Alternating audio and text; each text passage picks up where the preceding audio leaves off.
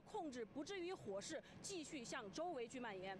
那么这个着火的车间呢，一样时间燃烧的时间会非常长，所以我们这个明火扑救多吨橡胶正在猛烈的燃烧，不适合救援人员到里面进行。伤亡的情况。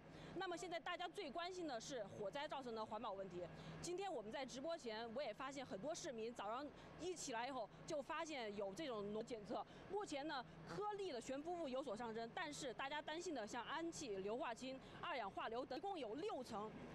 正是因为二百吨的现现场正在进行环境质量的深度评估。什么叫深度评估？意思就是说，除了空气质量以外，我们的水体、土壤都在本次深度评估的范围之内。稍后有了最新的情况，我会通过直播的方式再次向大家介绍，请大家。